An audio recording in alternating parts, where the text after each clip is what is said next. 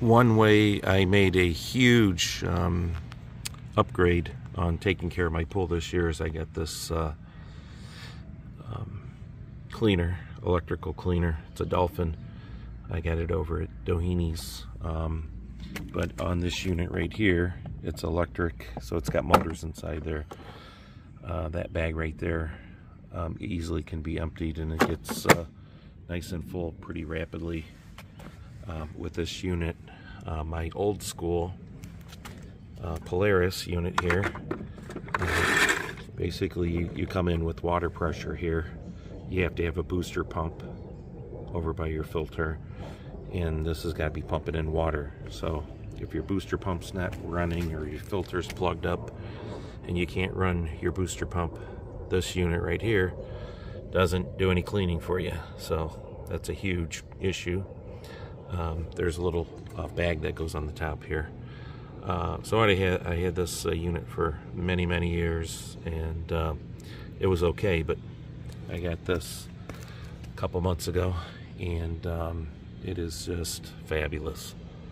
So anyway, if you're looking to save lots of time on cleaning your pool, I would definitely uh, invest in one of these. I think it was like on sale for about 600 bucks. This um, pool uh, cartridge filter is another major upgrade that I did to my pull experience this year. Um, got this at uh, Doheny Pools and um, it's an off-brand name or white labeled Harris um, product. This was uh, about 150 uh, square feet of uh, filtering.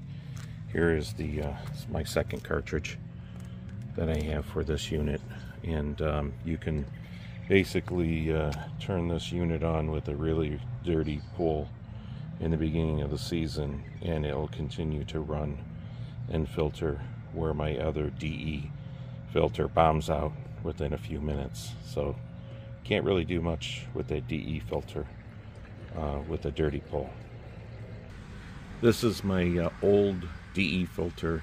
Um, it uh, cleans the water very well, um, but like I said, it gets uh, plugged up um, with dirty water in the pool in the springtime, and um, so it's it's almost useless uh, at that time of the year.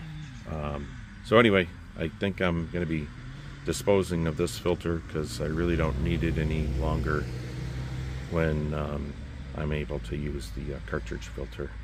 But it's it's been a good uh, filter for the time that I've had it. Hope you liked the video. Please like, share, and subscribe.